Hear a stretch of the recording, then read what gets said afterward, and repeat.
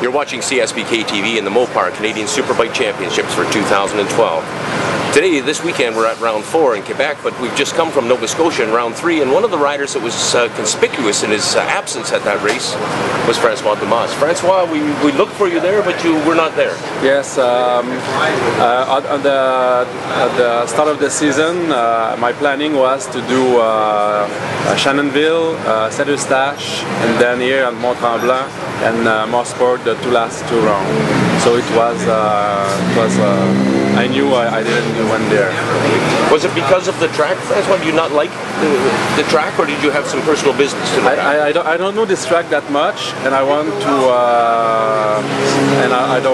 don't want, I don't want to go there and uh, spend the time over there and uh, miss the time with my family here. Okay. So we are we are already um, planning to go to vacation with the family. Oh, splendid! Yeah, splendid. You made the choice of the BMW S1000R in the off season. You made your purchases. You have two motorcycles a bike and a backup bike uh, should it be needed. Why did you choose BMW? Yeah, um, last year, uh, since uh, 2010, I did track days with uh, the Beamer, and I love this bike. I, I had uh, some uh, other brand before, but when the the, the, the BMW with the, this horsepower and traction control and ABS and all that stuff, I, I, I bought this bike and I, I love. So with the, the help BMW give to uh, the, the riders. So I will uh, very, um, I'm, I'm, very happy to be a part in their program.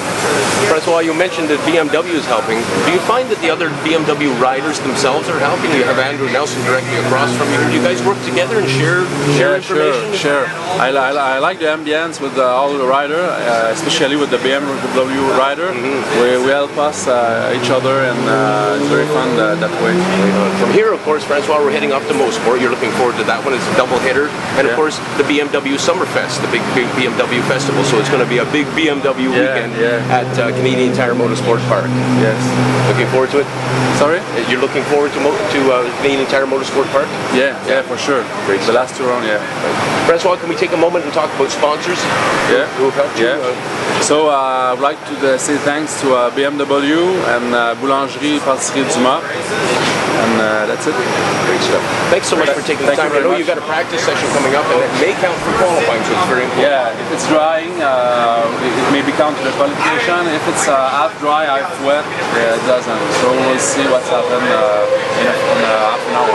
Great stuff. Most importantly, have fun out there. Thank you very much. Francois Dumas on the number 67.